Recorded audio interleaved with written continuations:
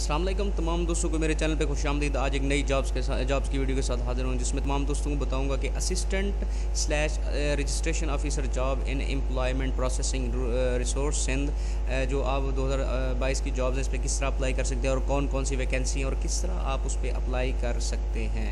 तो चलते हैं अपनी वीडियो की तरफ़ और देखते हैं कि इसकी क्या डिटेल है। जी, ये तीन सौ दस जो है रजिस्ट्रेशन अफसर और असिस्टेंट रजिस्ट्रेशन रजिस्ट्रेशन ऑफिसर छः सौ बीस। ये जी सरकारी नौकरी का अब इसका है, ये इस तरह है कि दर्जा इस्लामी की भर्ती के लिए सिर्फ़ सुबह सिंध के डोमिसाइल याफ्ता मौजू मर्द, फिर ख़वान उम्मीदवारों से ज़िली कोटा की बुनियाद पर दरख्वास्तें अब ये ये ज़िली कोटे जो है ना वो दिए गए हैं कि रजिस्ट्रेशन ऑफिसर जो है ना वो थर्टी थाउज़ेंड प्लस अलाउंसेस जो है ना उनको दिए जाएँगे। जो ये ये ज़िले हैं, Badin, Dadu, Ghotki, Hyderabad, Jacobabad Jamshoro Karachi central Karachi east Karachi north Karachi south Karachi west Kashmore कहाड़ी Khairpur Korangi, Larkana, Malir, उसके बाद जो है ना मटियारी मीरपुर ख़ास, नौशहरा, फ़िरोज़ शिकारपुर, सजावल सगर ये जो डिस्ट्रिक्ट दिए गए इन डिस्ट्रिक्ट की जो असामियाँ हैं, ये सारी असामियाँ जो है ना इन जो ये जो अज़ला हैं, इनका कोटा है। तीन सौ दस जो ना असामियाँ हैं। अब इसकी जो अहलियत है वो ये है कि आप तस्लीम शुदा इदारे से ग्रेजुएशन स्लैश मास्टर या मसावी तालीम, उम्र की हद जो है ना, वो बीस से अठतीस साल है।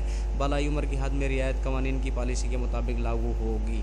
तो ये जो असिस्टेंट रजिस्ट्रेशन ऑफिसर है, इसके लिए भी इन्होंने पच्चीस हज़ार प्लस अलाउंसेस जो है ना, वो डिफरेंट अलाउंसेज हैं वो। उसके लिए 620 टोटल असामी है, वो भी सेम इसी, इन्हीं डिस्ट्रिक्ट की तरह। ये ये भी जो है ना इंटरमीडिएट ग्रेजुएशन मास्टर या इसके मसावी जो है ना, तालीम आपकी होनी चाहिए। अठारह से पैंतीस साल जो है ना, ये आपका होना चाहिए।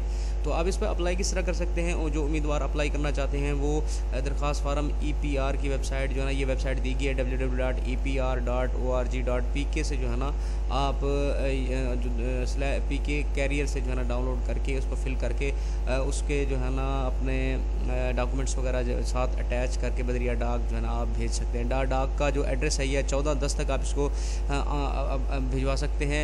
आपने भिजवाना कहा है? ये director admin head office E P R जो है ना, ये उसका एड्रेस दिया गया। इस एड्रेस पे आपने भिजवा देना है।